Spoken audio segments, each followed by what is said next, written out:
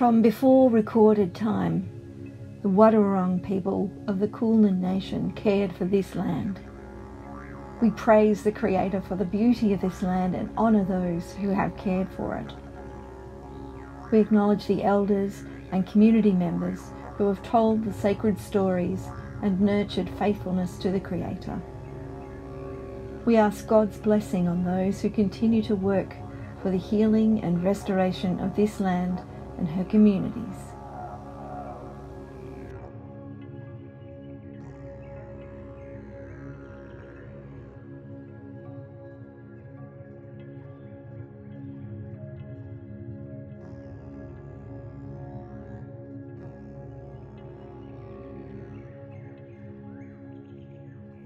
Greetings, grace and peace be with you.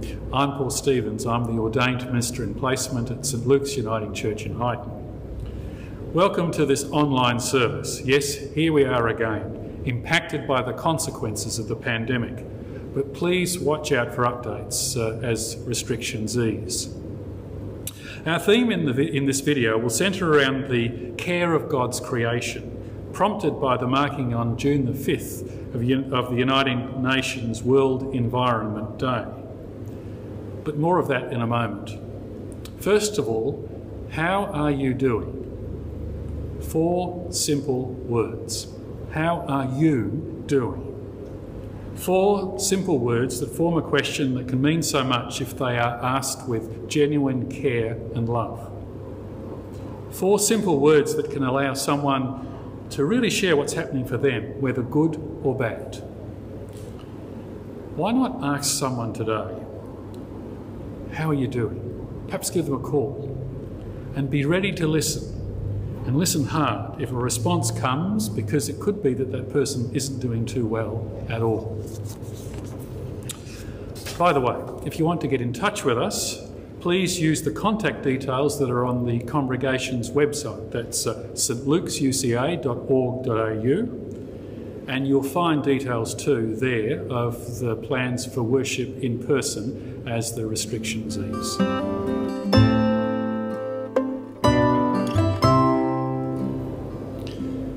Come share with us now in a time of prayer the verbal elements of this prayer, because it will include some time for silence, will include a modern collect written by Melbourne author Julie Perrin from her book A Prayer, a Plea, a Bird. So let's pause for a few moments in silence and open ourselves to the reality that God is present with us now, offering us life in all its fullness.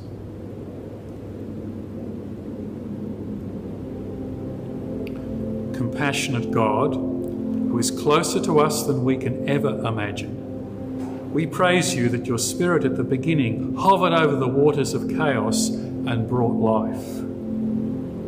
And that the same Spirit breathes life into thirsty hearts and souls right now. As we ponder the beauty of your world, cragged mountain peaks, sapphire seas, immense forest gums, the intricate patterning of butterflies' wings, we are led to a song for how blessed are we. Empowered by your Spirit, you call us to reflect the love of Christ by loving you, our neighbour, ourselves, and you call us to care for your world. When we've failed to live up to this calling, forgive us and redirect us. Enable us to be open to your healing and renewal. Show us how we can bring about change in our lives. Forest sculptor, carving surprise in shape and texture, soothe our parched and fractured hearts. Bathe us in green gifts of leafy wonder. Call the child within to rest on beds of moss let us bask under wavering delicacy of fern, protected by ancient eucalypt. May we sleep again sated in the canopied green, enfolded in forests beloved. We offer these and all our prayers in the name of Christ. Amen.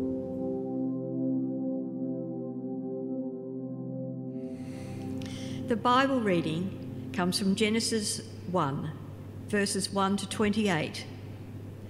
Genesis 1 is the wonderful hymn that begins the Bible and celebrates the creative power of God. Note that words like dominion and subdue regarding humanity's relationship with creation are all about responsibility, stewardship, and care. In the beginning, when God created the heavens and the earth, the earth was a formless void, and darkness covered the face of the deep, while a wind from God swept over the face of the waters. Then God said, Let there be light. And there was light. And God saw that the light was good. And God separated the light from darkness. God called the light day, and the darkness he called night. And there was evening, and there was morning, the first day. And God said, Let the waters under the sky be gathered together into one place, and let the dry land appear. And it was so. God called the dry land earth, and the waters that were gathered together he called seas. And God saw that it was good. Then God said, Let the earth put forth vegetation, plants yielding seed, and fruit trees of every kind on earth that bear fruit with the seed in it. And it was so. The earth brought forth vegetation, plants yielding seed of every kind, and trees of every kind bearing fruit with the seed in it. And God saw that it was good. And there was evening, and there was morning, the third day. And God said, Let the waters bring forth swarms of living creatures, and let birds fly above the earth across the dome of the sky. So God created the great sea monsters and every living creature that moves, of every kind with which the waters swarm, and every winged bird of every kind. And God saw that it was good. God blessed them, saying, Be fruitful and multiply, and fill the waters in the seas, and let birds multiply on the earth. And there was evening, and there was morning, the fifth day. And God said, Let the earth bring forth living creatures of every kind, cattle and creeping things, and wild animals of the earth of every kind. And it was so.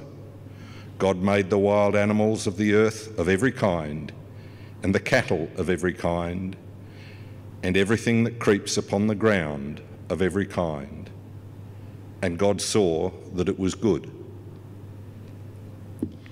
Then God said, Let us make humankind in our image, according to our likeness, and let them have dominion over the fish of the sea, and over the birds of the air, and over the cattle, and over all the wild animals of the earth, and over every creeping thing that creeps upon the earth. So God created humankind in his image. In the image of God, he created. God blessed them, and God said to them, Be fruitful and multiply, and fill the earth and subdue it, and have dominion over the fish of the sea, and over the birds of the air, and over every living thing that moves upon the earth. And it was so. God saw everything that he had made, and indeed it was very good. And there was evening, and there was morning, the sixth day.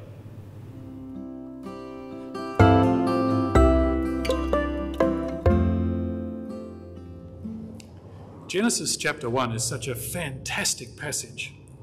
Um, I'm sorry we only were able to hear a portion of it, but I, I guess you heard the rhythm and the power and the beauty of the words as um, they were read for us by uh, Claire and Ian.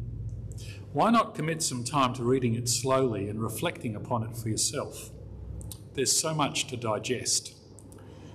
But surely the key message from this text is that the cosmos is a gift of God. That the Spirit of God enlivens all things, that God is the Creator God. And a second word to us from this text is that we humans have a particular place in creation, and that is to care for it. That we have a responsibility to be good stewards, so generations can enjoy the blessings of this wonderful planet and universe. And as Christians, surely we should take that word to us very, very seriously that role of being stewards. The United Nations website for World Environment Day speaks about restoration. And I think that kind of resonates for us as Christians, with plenty of biblical concepts such as healing, renewal, new beginnings that kind of connect with restoration. The UN website includes this statement, which I found helpful. We cannot turn back time, but we can grow trees, green our cities, rewild our gardens, change our diets, and clean up rivers and coasts. Some of you will know that we spent uh, nine years, that is my family and myself, in ministry based at Bairnsdale. Actually, the region of the Bairnsdale parish is bigger than the area of metropolitan Melbourne, so a huge area. And one of the congregations of the parish was located in a place called Fernbank, a small hamlet about halfway between Bairnsdale and Stratford, but some distance off the main road. The area around Fernbank, before the coming of us white folk, had been heavily forested, and the first Anglo visitors, visitors described it as being like a huge parkland. Perhaps this was because of uh, the regular cool burns carried out by generations of First Peoples. One document on the internet, which you can look up, describes the area as having been grassy woodland. Now, when I was a minister in the area, and it was in the 1980s and early 1990s, there were only patches of trees. There were certainly no huge parklands. There were only remnants of the grassy woodlands. The locals explained to me that the area had been heavily logged. Indeed, there had once been a sawmill at Fernbank, which is naturally near the main rail line and so, of course, had had direct access to the whole of Gippsland and Melbourne. And while I cannot confirm this, I was told by the locals that many of the red gum trees ended up being cut into blocks and shipped up to marvellous Melbourne in the 19th century, no doubt on the train, to be used as pavers on the streets. The last time I drove that way, I noticed things were changing that there were many more trees in the area, especially along creek beds and in gullies. This, it turns out, was a result of a local land care group, which has been very active in recent years. Local farmers, some of whom were associated with the church, had engaged in some practical restoration and renewal of the land. Now, of course, you don't have to belong to the Fernbank Area Landcare Group to plant trees. This congregation's environment group has shared in tree planting days and is always looking for volunteers. We can all take practical and significant steps to care for this environment, this world with which we're blessed, to be good stewards for future generations of this wonderful world which, is, which God has blessed us with. We can all share in acts of restoration. Let's continue in prayer now. Two prayers. One comes from England and is written by the Reverend Kate Williams. The second is a shortened version of a prayer by the Reverend James Bagwan, who's the General Secretary from the Pacific Conference of Churches.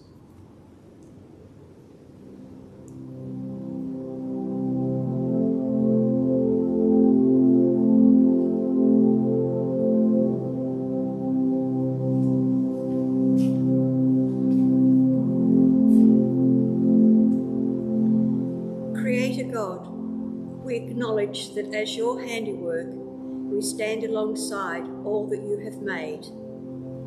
Trees and rivers, mountains and valleys, soaring birds and scuttling creatures are all held within your care May we grow in our love and appreciation for the fabulous variety around us, and may our awe and wonder draw us closer to the natural world and through it to you, the God of all things. We pray in Jesus' name. Amen.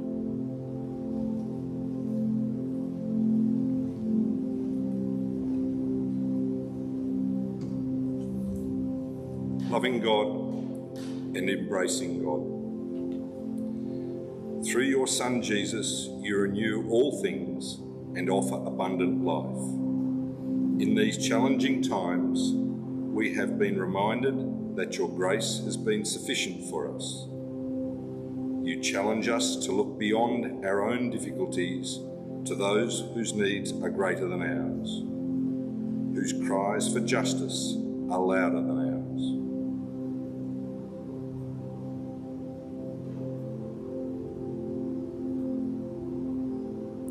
ours. Creator God, all of creation is groaning. You remind us that a renewal is required to address the loneliness of spirit that the world feels, the hunger of the human heart that material gain cannot satisfy. Amidst the pain and suffering of so many, you offer hope of a renewed world a reweaving of the divine mat on which all creation sits together, each a sacred strand of your design that was very good. Help us, O Lord, journey into a profound, a deeper relationship with both you as Creator and all your creation. To touch the soil and tend to the earth to protect the ocean and move gently with it. To sing a new Lord's song and work together so that everything that has breath, the trees and the seas that make oxygen, and the creatures that breathe it to live, everything that has breath, praise the Lord. In the name of the Father, the Son, and the Holy Spirit. Amen.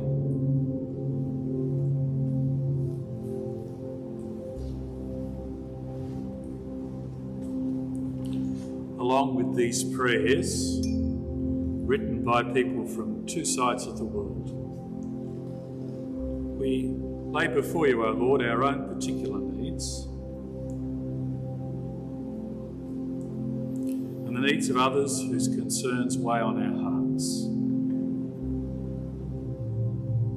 Pray particularly for those who are grieving, those who are ill, those who are lonely, those who are feeling isolated, those who just need a sense of touch.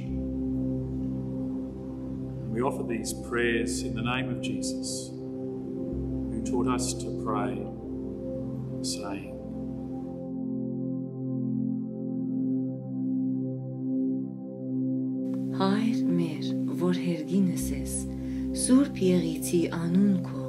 Եգեսցե արկայություն քո, Եղիցին գամ քո, որբես հերգինս եւ հերգրի, զհաց մեր հանաբազորդ, դուր մեզ այսօր, թող մեզ զբարդիս մեր, որբես եւ մեկ թողունք մերոց բարդավանած, եւ մի դանիրս մեզ ի փորձություն, այլ փրկիա ի չարեն, Զիքոյ է արկայություն եւ զորություն եւ պարկ Հավիդյանս Go forth into the world in peace. Be of good courage. Hold fast that which is good. Render to no one evil for evil. Strengthen the faint-hearted. Support the weak. Help the afflicted. Honor everyone. Love and serve the Lord rejoicing in the power of the Holy Spirit.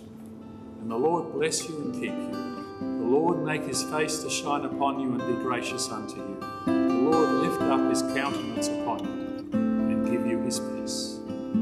Amen. Would we truly let you die? Or can we swim? to the other side. Dream ourselves into an ancient